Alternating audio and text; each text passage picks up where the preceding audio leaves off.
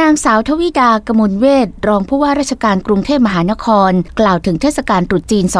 2567 ว่า ปีนี้กรุงเทพมหานครมีมาตรการสองเรื่อง ที่ดำเนินการคู่กัน คือการสนับสนุนให้มีการจัดเทศกาลควบคู่ไปกับมาตรการด้านสุขภาพ และด้านความปลอดภัย ซึ่งการจัดเทศกาลตรุษจีนได้มีการจัดในหลายสถานที่ทั้งที่เยาวราช ซึ่งจะมีงานระหว่างวันที่ 10-11 กุมภาพันธ์นี้ ณ ซุ้มประตูเฉลิมพระเกียรติ 6 รอบ พระชนมพรรษา ทั้งศูนย์การค้าต่างๆ เช่นที่เซ็นทรัลเวิลด์สยามพารากอน ไอคอนสยาม สยามสแควร์ สามย่านมิตรทาวน์ตึกมหานครมาบุญครองสยามเซ็นเตอร์ กรุงเทพมหานครมีการเตรียมพร้อมในด้านต่างๆ เพื่อให้ประชาชน เฉลิมฉลองเทศกาลตรุษจีนอย่างมีความสุขและปลอดภัยสำหรับมาตรการด้านสุขภาพหากเป็นช่วงภาวะฝุ่น PM 2.5 สูง จะมีการขอความร่วมมือ ลดหรืองดจุดทูบที่มีควัน ใช้ทูบเทียนไฟฟ้า หรือลดงดการเผากระดาษเงินกระดาษทอง เพื่อลดอันตรายต่อสุขภาพ ส่วนมาตรการด้านความปลอดภัยได้มีการเตรียมหน่วยงานดูแลรักษาความปลอดภัย ให้มีความพร้อม นอกจากนี้ในเรื่องการจราจรสำนักการจราจรและขนส่งยังมีการตรวจสอบและซ่อมบำรุง